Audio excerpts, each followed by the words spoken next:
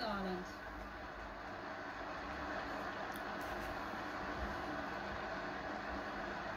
Now